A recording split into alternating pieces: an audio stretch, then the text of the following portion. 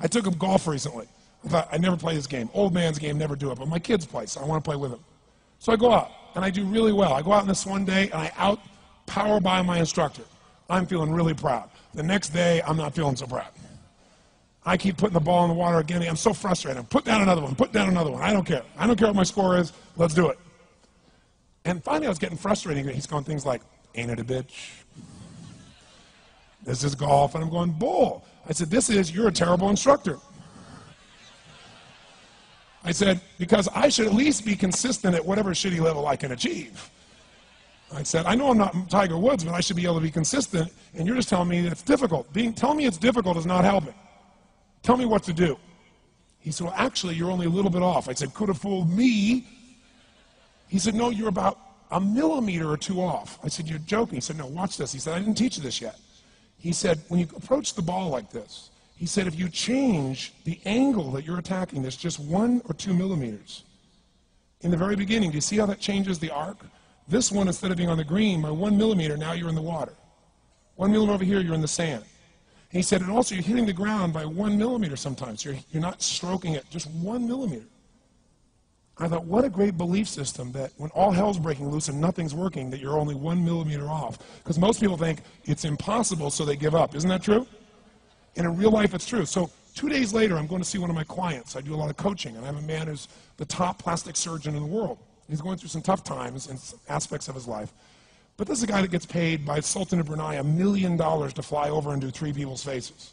He is the number one plastic surgeon in the world. He can make anyone who's ugly look spectacularly beautiful. He showed me pictures of a woman who's 84 years old. He made her look 40 and gorgeous, no exaggeration.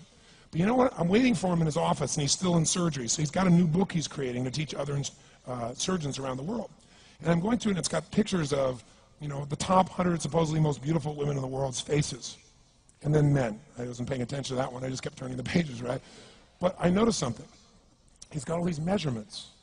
And he has mathematically calculated what it takes to make someone look gorgeous, man or woman. And it's a few millimeters. Interesting. For example, on a woman, the distance between the top part of your lip and your nose, this little distance, the measurement of that, if you're beautiful, gorgeous, is the same size as your eye. If it's one millimeter more, you have an average face. If it's two millimeters more, you are butt ugly. Okay, okay. The difference between butt ugly and gorgeous is two millimeters. He's got about a dozen of these little one or two millimeter changes he makes, and it's, it's a different person. It is unbelievable.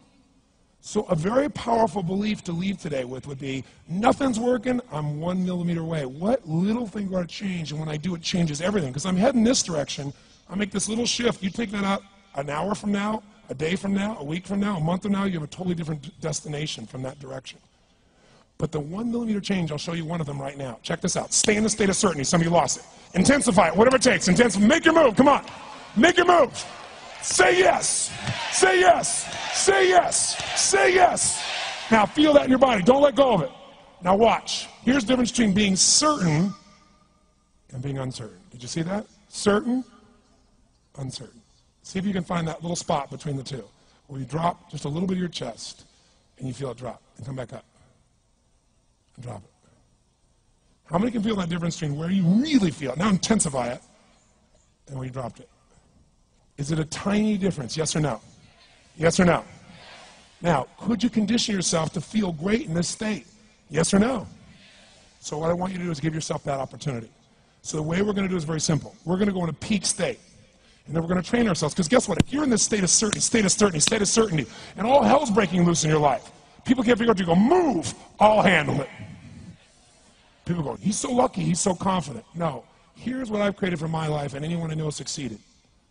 I'm a 17 year old kid from Azusa, California, with no real education other than self education, with no background, with parents that did their best, all of them,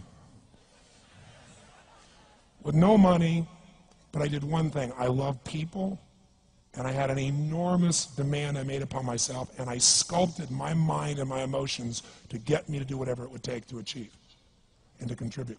But to do that, I did it by using my body and changing my focus. I did it by putting myself in a peak physiology and using what I call incantations. Can you train yourself to believe something? Yes or no?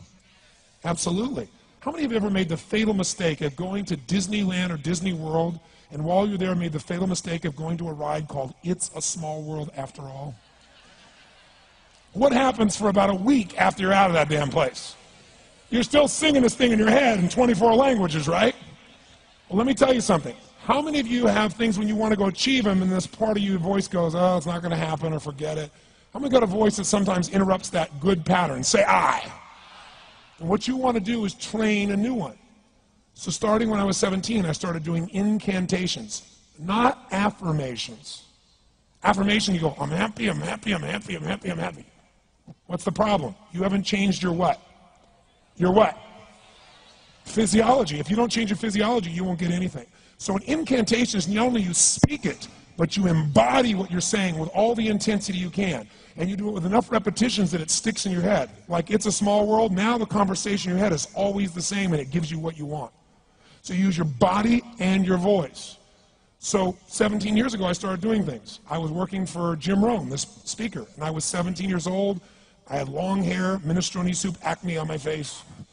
And I was trying to call on Bear Stearns type of people and convince them why they should go to this man's seminar and be more successful. I was driving a 1968 Volkswagen that I had earned at $40 a week as a janitor. The only way I did it was park far from the building and then go in and I love people and I believe, but I put myself in state and I was able to influence people that were far more successful than I was at the time. I would do something that I still do backstage and have done for 23 years because I don't hope I'm going to be in a good state. I demand it. So I do an incantation using my whole body. I'd say, I now command my subconscious mind to direct me in helping as many people as possible life today to better their lives by giving me the strength, the emotion, the persuasion, the humor, the brevity, whatever it takes to show these people and get these people to change their lives now. And I would do that literally driving in my Volkswagen to a meeting in LA on the freeway for 40 minutes. People are looking at me, I'm screaming at the top of my lungs. They're going, I know he's a serial killer. I know he is.